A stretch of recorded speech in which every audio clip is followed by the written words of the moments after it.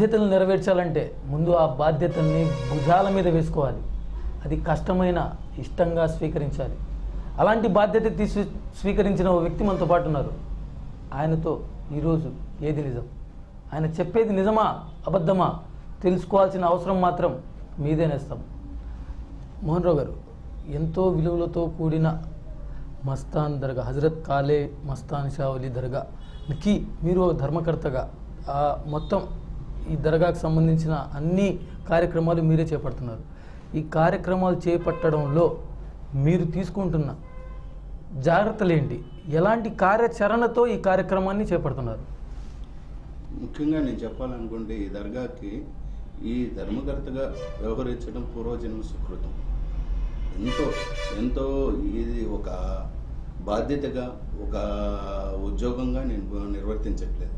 ఇది నా తండ్రికి నేను చేసుకున్న సేవ అనే కార్యక్రమంలో నేను పంచుకుంటున్నాను తప్పితే ఒక నాకు ఇంకా ఏ దేవుడైనా సరే దేవుడు అనేది నాకు విల ఇలవేలుపు మస్తానయ్య గారు. నాకు ఏదైనా సరే మస్తానయ్య గారు. ఆయనకి ఏది చేసినా నేను తక్కువగా చేసినట్టు నేను ఫీల్ అవుతుంటాను. ఎక్క పలు ప్రాంతాల నుంచి రాష్ట్ర ఇతర రాష్ట్రాల నుంచి కూడా ఇదే ప్లేస్కి అంటే ఈ దర్గాని ఈ సందర్శనం కోసం భక్తులు వస్తూ ఉంటారు. ఆ భక్తులు వచ్చినప్పుడు మీరు తీసుకునే జాగ్రత్త చర్యలు ఎలా ఉండేవి? భక్తుల కోసం నేను నాకు తెలిసి నేను రెండు వేల ఏడు ఆగస్టు ఇరవయో తారీఖు బాబా గారి మందిర పునర్నిర్మాణం చేశాము. ఆ చేసిన కాడ నుంచి కూడా ప్రతినిత్యము కూడా రెండు వందల మందికి అన్నదాన కార్యక్రమం చేస్తున్నాను. వచ్చే భక్తులకు ప్రతి భక్తుల్లో కూడా నేను మస్తానయ్య గారిని వారిని స్వయంగా నేను మస్తానయ్య గారే వచ్చి తింటుంటారు అనే భావంతో నేను పెడుతుంటాను. అది నాకు ఎంతో తృప్తినిస్తుంది. అలానే వీరందరికి కూడా ఇక్కడ ఉండటానికి మూడు మూడు ఫ్లోర్లు వేయించాము. ఒక నాలుగు రూమ్స్ కూడా ఉన్నాయి. దీనిలో మీరు ఎప్పుడు వచ్చి చూసుకున్నా కూడా ఎంతో ఎంతో లేని వాళ్ళు ముసలి వాళ్ళు భార్య తల్లిదండ్రులు వదిలేసిన ముసలి వాళ్ళు వాళ్ళందరూ కూడా వాళ్ళందరికీ దేవుడే దిక్కన్నట్టు మస్తానయ్య గారే దిక్కన్నట్టు వారు వచ్చి ఇక్కడంతా ఉండి ప్రసాదాన్ని స్వీకరించి ఇక్కడ ఒక షెల్టర్ లాగా వాళ్ళకి ఒక ఆశ్రమం ఇచ్చానని అంటే అది నేను వాళ్ళకి ఇస్తున్న ఆశ్రమం కాదు. మస్తానయ్య గారి. ఇక ఆయన భక్తులకి నేను ఇస్తున్న ఆశ్రమం అని నేను ఆ, భావిస్తాను. రావి మోహన్ రావు అంటే మస్తాన్ దర్గా ధర్మకర్తగా ప్రజలకు తెలుసా? వ్యాపారవేత్తగా తెలుసా? వ్యాపారవేత్తగా తెలీదు కానీ దర్గా ధర్మకర్తగానే అందరికీ తెలుసు.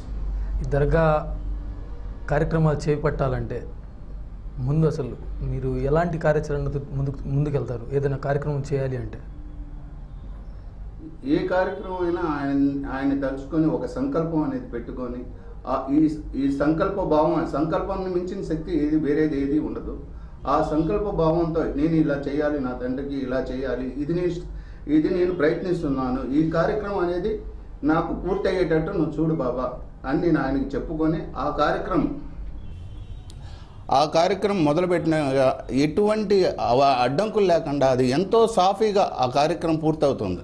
ఫస్ట్ మనం చూస్తుంటే అది ఎంతో కష్టంగా ఎంతో కష్టతర బాధ్యతగా మనం ఎన్నోసార్లు గమనించుంటాం. కానీ ఆ కష్టాన్ని ఇష్టంగా చే ఇష్టంగా మలుచుకొని చేయటంలో నేను ఆనందాన్ని పొందుతుంటాను. అయితే నూట ఇరవై ఎనిమిదేళ్ళ చరిత్ర ఉన్న ఈ దర్గాకి మీరు ఎప్పటి నుంచి ఈ బాధ్యతలను స్వీకరించారు? నేను నా చిన్నతనంలో మా నాన్నగారు చేసేవారు. రావి బావాజీ మస్తాన్ రావు గారు. ఆయన పంతొమ్మిది వందల తొంభైలో చనిపోయారు. తర్వాత మా అమ్మగారు రెండు వేల ఐదు ఐదు వరకు చేశారు. తర్వాత నుండి నేను చేస్తున్నాను. కాకపోతే నా పేరు అప్పటి నుండి కూడా మా నాన్నగారు చనిపోయిన కాడి నుంచి కూడా నా పేరు మీదగానే జరుగుతూ ఉంది. మీ నాన్నగారి మరణానికి ముందు మీ నాన్నగారికి ముందు ఎవరు చేశారు? వాళ్ళ నాన్నగారు చేశారు సుబ్రహ్మణ్యం గారు చేశారు. వాళ్ళ నాన్నగారి ముందు బావాజీ నాయుడు గారు చేశారు. అంటే మీకు కుటుంబ పరంగా పై పెద్దల నుంచి వస్తున్న ఆచారం ఇది? ఇది ఫోర్ ఫాదర్స్ నుండి కూడా బాబా గారి సేవలో మేము పాల్పంచుకున్నాం ఫస్ట్ మస్తానయ్య గారు అలైవ్గా జీవించి ఉన్నప్పటి నుండి కూడా బాబా గారి సేవకులు మా నా ముదినాయనమ్మ గారు రావి రంగమ్మ గారు బావాజీ నాయుడు గారు. వీరి దగ్గరికి వచ్చి కూర్చునేవారు. వారు ప్రతి నిత్యం కూడా ఆయనకి సేవ చేస్తూ ఆయన బాగోగులు ఆయన చెప్పిన విధంగా ఇలా ఇలా నడుచుకుంటూ చేసి ఆయన ఆయన సేవయే పరమార్థంగా వారు జీవించి ఉన్నారు. మీరైతే కళ్ళతో బాబాని అయితే ఎప్పుడు చూడలేదు కానీ మీకు తెలిసిన బాబా విశిష్టత ఏదైనా? నేను కళ్ళతో చూడటం అంటే నాకు ఎన్నోసార్లు కనపడ్డారు.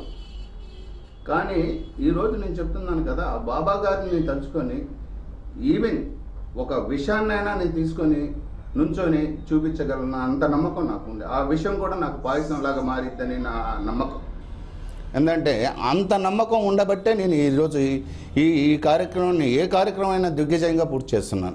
నాకు మస్తానయ్య గారు అలా ఎన్నో ఎన్నో ఇబ్బందికరమైన సంఘటనల్లో కూడా ఆయన వచ్చి నాకు ఎలైవ్గా నాకు కనపడి ఆయన ఈ ఈ రోగాన్ని ఇలా తీసి తీయటం అవన్నీ నేను చూశాను. అంటే రోగాన్ని తీయడం అంటే? ఫర్ ఎగ్జాంపుల్ నాకు జరిగిన సన్నివేశం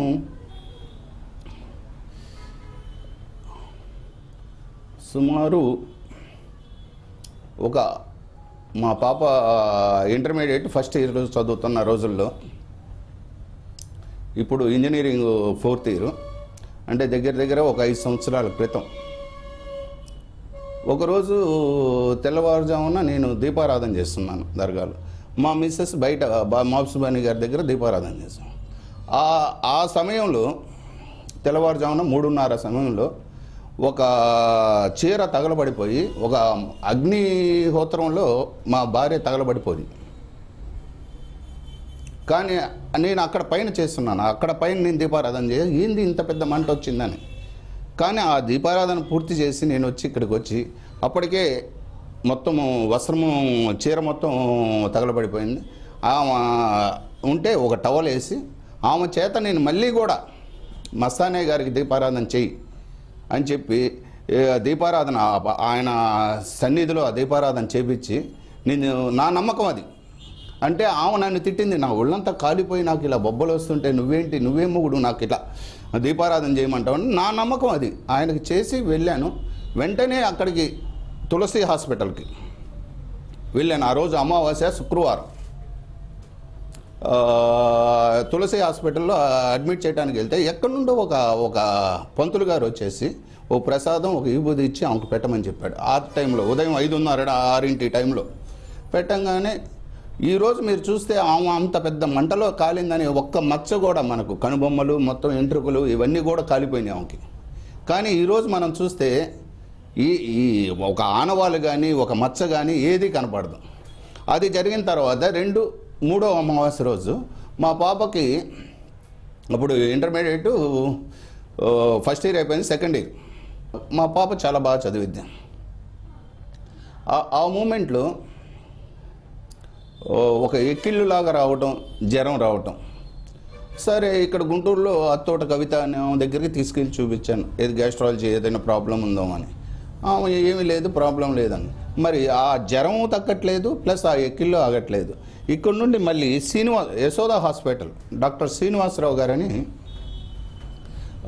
ఆయన దగ్గర తీసుకెళ్ళి ఆయన అడ్మిట్ చేశాడు. ఒక ట్వంటీ డేస్ కొలనోస్కోపీ ఇవన్నీ చేసి అన్ని టెస్టులు చేసి కూడా ఏమీ లేదు. అది ప్రాబ్లం మటుకు అంతే ఉండేది. ఆ ప్రాబ్లం తగ్గేది కాదు. తర్వాత అక్కడ కూడా పదిహేను రోజులు ఉండి తర్వాత మళ్ళీ కిమ్స్ హాస్పిటల్లో చేశాం. కిమ్స్ హాస్పిటల్ భాస్కర్ మూర్తి గారు ఆయన కూడా చూశారు. అక్కడ ఒక ట్వంటీ డేస్ గడిపాం. ఏంటి ఏ ఏ ప్రాబ్లం అనేది ఏం తెలియట్లేదు. కాకపోతే ఏదైతే ఉందో జ్వరము ఆ ఎక్కిళ్ళు అనేది అలా ఉండిపోయి పాప సన్నగా అయిపోవటం జరిగింది. తర్వాత ఇంకా దీనికి ఏషియన్లోకి వెళ్తే బాగుంటుంది. ఏషియన్ నాగేశ్వర రెడ్డి గారు కిషోర్ గారు ఎవరు? మొత్తానికి ఆయన చంద్రబాబు నాయుడు గారి పర్సనల్ డాక్టర్ నాగేశ్వర రెడ్డి గారు ఏషియన్ హాస్పిటల్లో అక్కడికి వెళ్ళి తీసుకెళ్ళి వాళ్ళ అపాయింట్మెంట్ తీసుకొని అక్కడ అక్కడ ఒక ట్వంటీ ఫైవ్ డేస్ ఉన్నాం. వాళ్ళు బా- బాంబే కానీ ఈ టెస్ట్ అని ఆ టెస్ట్ అని లాస్ట్ కొలనోస్కోపీ ఒకటి చేసి ఇక్కడ ఇది హోల్స్ వేసి దాన్ని ఒక తీసి బాంబేకి పంపించటం దానిలో కూడా ఏ నార్మల్ అని రావటం.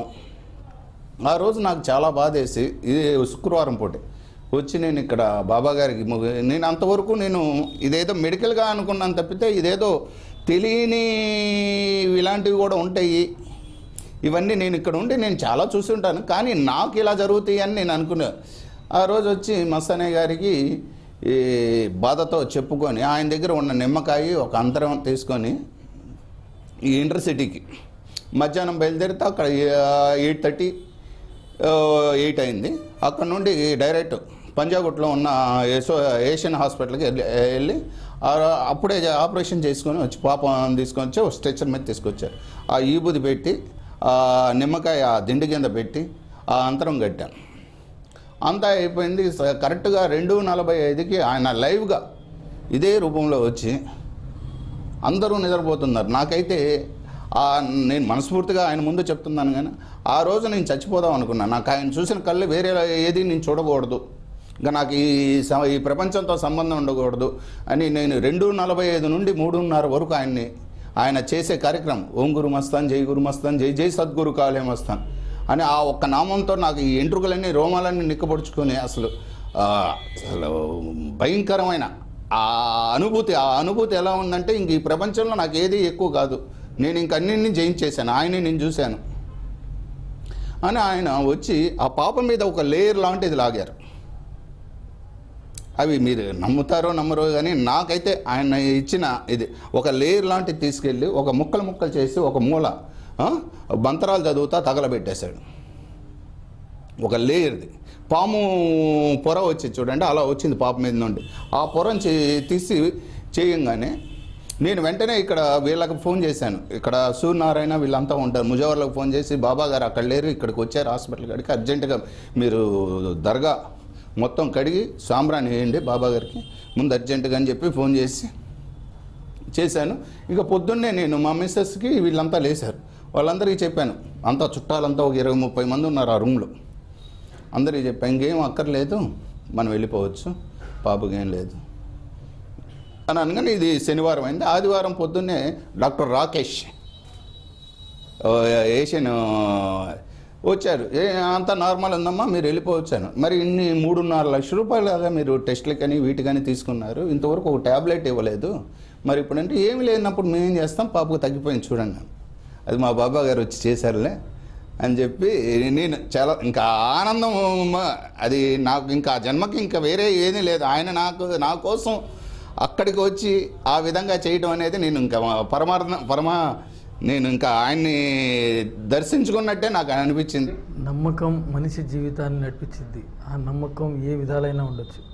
మీరు నమ్మారు నమ్మిస్తున్నారు చూస్తున్నారు. అది నా విషయంలో. అలానే ఇంకా నేను భక్తుల విషయంలో ఈరోజు నేను ఒక ఒక సైకో స్థాయికి వెళ్ళిపోయాను.